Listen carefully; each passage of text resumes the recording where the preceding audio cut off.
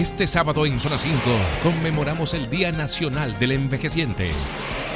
En nuestra zona especial aseguran que más de 90.000 dominicanos padecen de Alzheimer, una enfermedad asociada a la vejez que hace perder la memoria. ¿Qué hacen las autoridades por estos pacientes? Más de 40 ancianos reciben alimento y atención en el Hogar San Antonio de Padua, un centro con más de 30 años de trabajo para esta población vulnerable en Bonao. El Fray José, orgullo de Villaduarte. A fuerza de fe y corazón lucha para levantar una ambiciosa solución habitacional en este sector.